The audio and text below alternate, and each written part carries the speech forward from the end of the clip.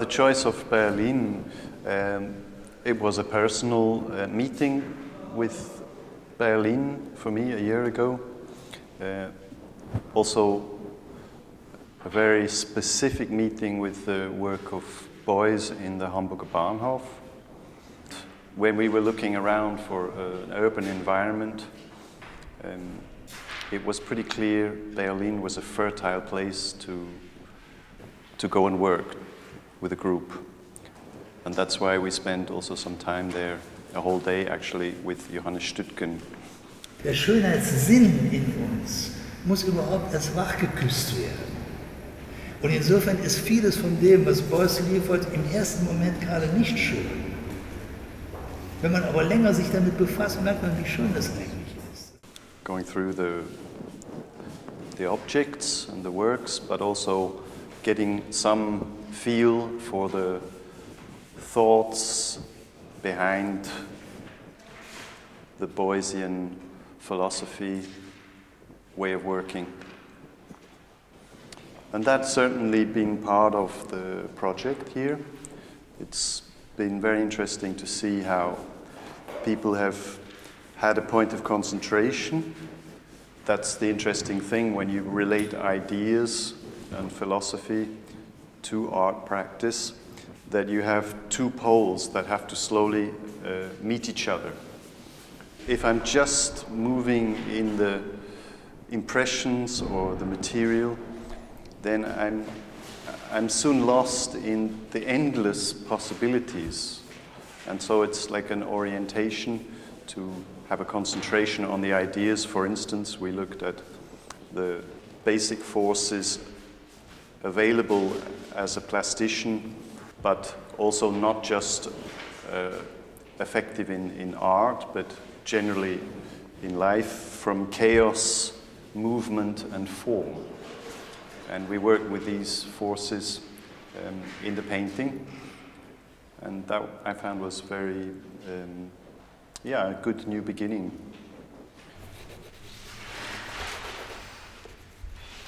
Hier gibt es so wie eine innere Aufforderung, was mache ich denn überhaupt? Die Frage der Kunst wird ganz zentral. Was mache ich mit meiner Kunst? Was ist Kunst überhaupt? Hier in diesem Kunstraum Bethanien ist auch speziell, dass wir einen Raum benutzen dürfen, der, der uns eine eine Privatsphäre gibt, einerseits aber trotzdem quasi wie eine Begegnung auch ist. Wir haben jeden Tag, später Nachmittag, so offene Tür, Menschen kommen herein, es ist die Möglichkeit eines Austausches und einerseits ist man am Arbeiten, andererseits täglich auch so eine Art Reflexion des Arbeitens.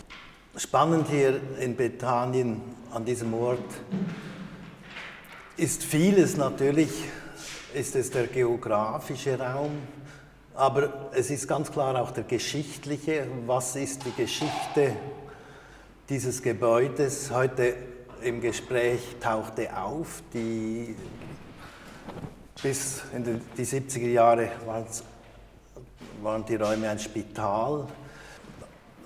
Was schön ist, ist, dass ein gemeinsames Thema im Raum steht, aber trotzdem äh, ein reger Austausch oder auch eine intensive Suche stattfindet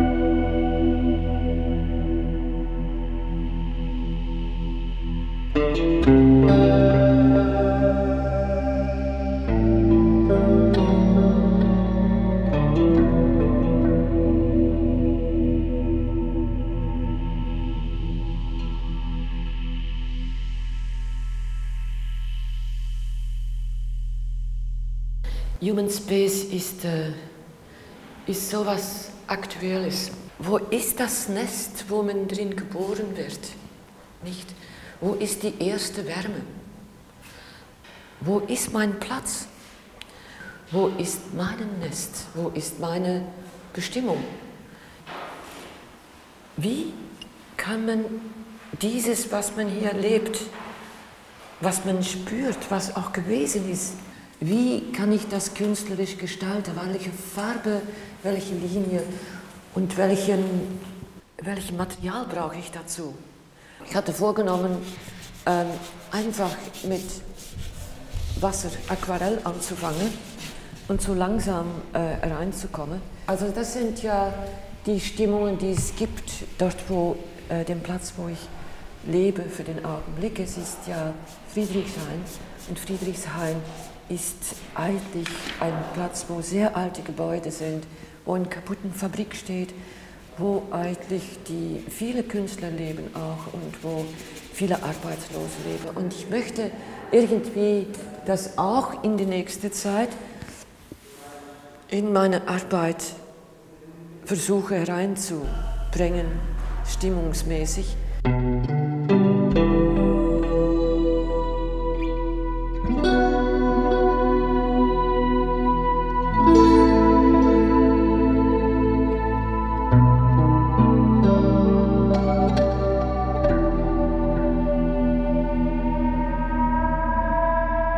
Question euh, dans le travail du trimestre, quand je, suis, quand je suis venue ici, quand je suis arrivée ici, et la question que j'avais encore depuis euh, la fin du workshop, c'est euh, comment on crée l'espace dans la peinture, c'est ça la question. Et là, avec la couleur, c'est plein, mais il n'y a pas l'espace. Moi, j'ai commencé, tu vois, avec la tonalité pour Berlin. Et ce qui m'a frappé quand je suis arrivée ici, c'est c'est la, brique, les grandes églises rouges, euh, la présence du rouge un peu partout. Berlin, c'est pas, pas anodin au niveau de l'histoire. Quand on est là, on pense à, tout ce qui s'y est passé, enfin, à ces, guerres, à ces, séparations, ces drames.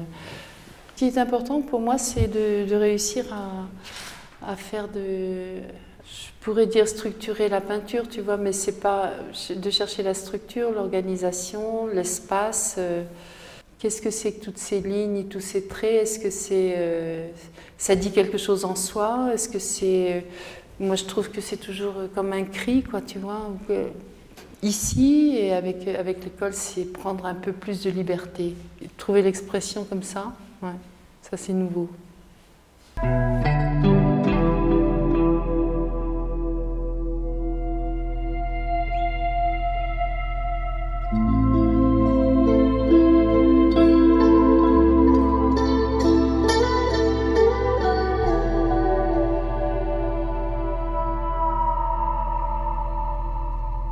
Kinds of color is Berlin.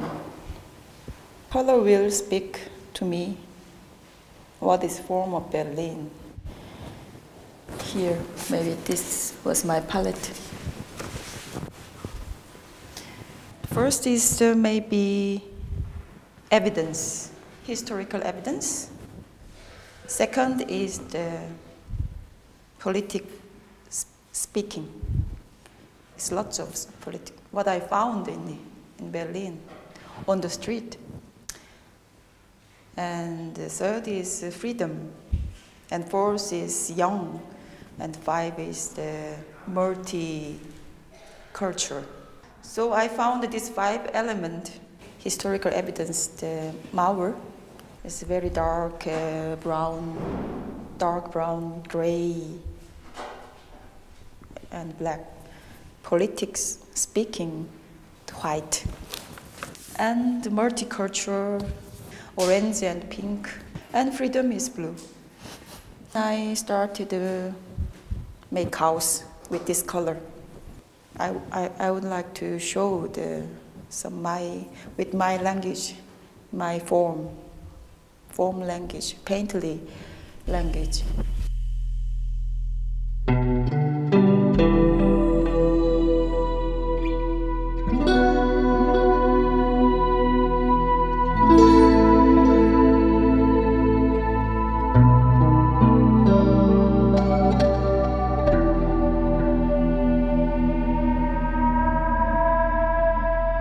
Ich habe die erstmal mit, mit äh, Collage auseinandergenommen und wieder zusammengesetzt und dann ähm, später mit Farbe, so eigentlich ohne, ohne großes Konzept.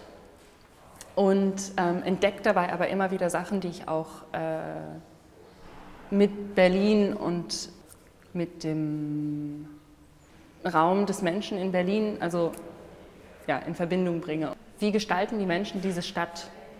Und äh, wie wird das sichtbar. Und ähm, mir fällt vor allem auf der Kontrast zur Schweiz oder der Kontrast zu Basel, so dass äh, vieles einfach unfertig oder provisorisch oder ähm, wieder weggenommen und dann wieder was anderes drauf und dann wieder weggenommen und dann da mal eine Baracke und ähm, alles vollgesprüht und es hat was Lebendiges für mich. Also ich finde, es vermittelt so ein Gefühl von, äh, dass da was möglich ist, dass man, dass man gestalten kann.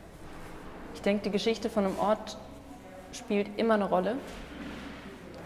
Also vielleicht sind die Collagen auch ein Bild dafür oder die, die gemalten Bilder auch ein Bild dafür, wie diese Überlagerungen stattfinden. Man sieht das darunter zwar nicht mehr, aber ich glaube trotzdem, dass es eine Rolle spielt. Also ich habe, es, es gab ja auch eine, wenn ich eine Farbfläche setze, dann, dann reagiere ich auf das, was da drunter ist.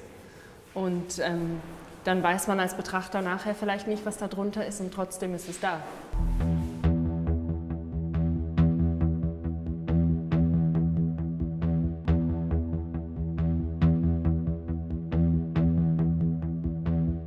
Dans un premier temps, je pense qu'on s'est pas mal imprégné un peu de ce qui se passait ici pour savoir euh, ce qu'on était capable de, de sortir. Et Berlin, c'est quand même vraiment une ville particulière, moi je trouve, où cette notion d'espace euh, semble là, quoi, semble plus présente, je trouve. Cet espace que, qui me questionne, cet espace que je recherche, où on peut, où on peut être, où on peut venir, où, on peut, où il peut y avoir un mouvement et où je peux, moi, initier quelque chose. On vient travailler là-dessus ici et on le ressent d'autant plus qu'on peut se sentir de, de, prendre une place et de participer au mouvement des choses en fait. Et puis euh, cette discussion qu'on a pu avoir ce matin, je pense qu'il a été très provoquée par, le, par l'expo de Boys hier, tout de suite a amené la question de la liberté et pour moi en fait cette, cette question de l'espace elle est directement liée à la question de la liberté qui, est très large, trop large, euh, trop prenante et qu'on ferme trop, mais qui malgré tout est la seule condition aujourd'hui, la seule recherche, si on veut être, être là, être humain sur Terre et être euh, réalisé juste la condition, enfin l'homme quoi.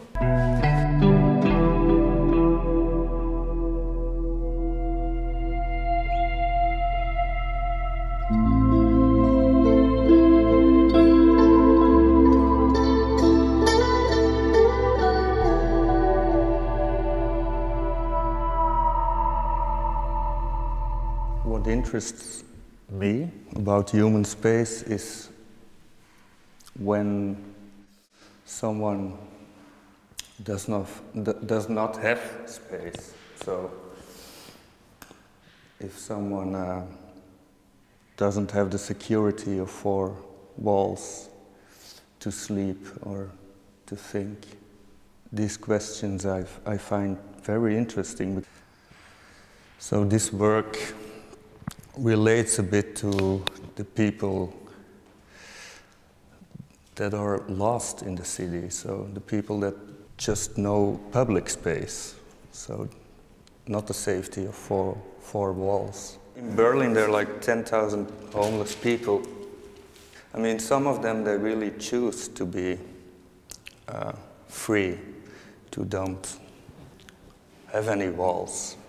So uh, I found these plans on the market, and they're actually all the architectural plans from an, from an old building in the east. And what I'm gonna do is, I, I wanna, I'm gonna, I'm making a collage actually. So I went to the city and, and, and took some photographs, uh, Polaroids actually, where I'm uh, sleeping uh, against this little white house uh, on, on public spaces and, and in the dirt and stuff. Um, and I was also shooting a film which I want to project on these old spaces, I mean on the on, on these rooms.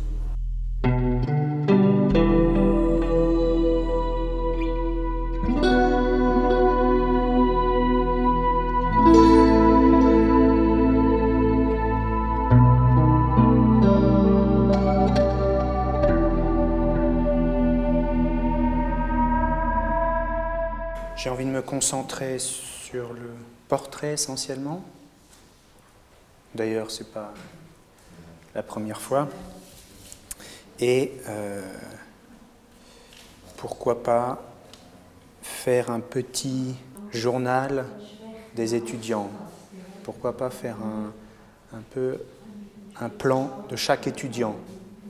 Et donc, Pauline, par exemple, dans l'évolution de mon travail, ça serait la saisir dans sa posture, comme, comme travail, et à arriver jusqu'à le visage pour le traduire en lino.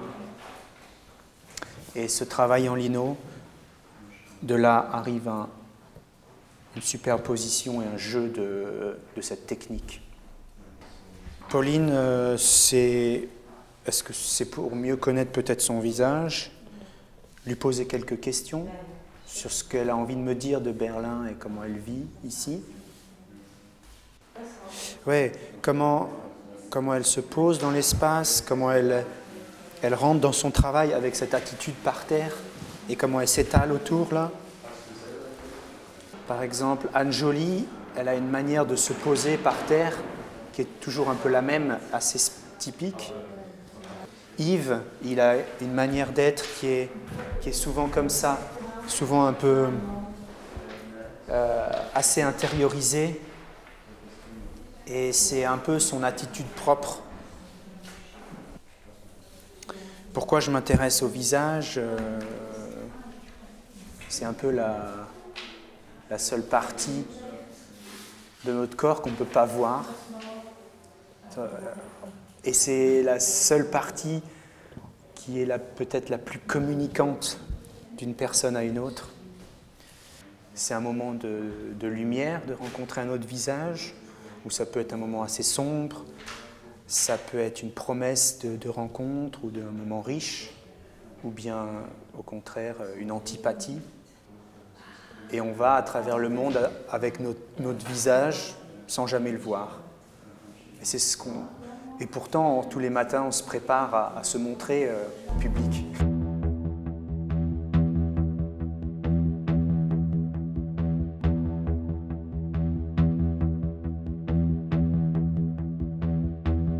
Ja, also wenn man auf sich zurückgestellt ist oder äh, auf sich gestellt ist, ähm, in jeder Situation eigentlich, ähm, aber dann das spitzt sich zu in der Auseinandersetzung mit dem Bildformat oder mit einem leeren Blatt oder einem neuen Projekt, die man anfängt. Für mich gehört das ähm, eindeutig dazu, dass es Momente der Verzweiflung und der Begeisterung und des sich verloren fühlen, ähm, als sogar äh, als ein absolut notwendiger Teil der Prozess ist. Visual Art School Basel äh, bezieht das auf jeden Fall ganz deutlich damit ein, dass Leute in, also nicht in eine Komfortsituation sich ähm, begeben und dass man das wie aufnehmen kann und miteinander auch ähm, ja, auf eine gute Weise ähm, zusammentragen können als Teil der Prozess. Also der Nullpunkt ist eigentlich ein guter Anfang für den künstlerischen Prozess überhaupt. Da sind wir ähm, in Berlin auch mit etwas konfrontiert, wo sehr viel ähm, Nullpunkte erlitten hat, würde ich einmal sagen, und wieder aufgebaut hat und wo viel lebt von diesen ähm, diese Schichten.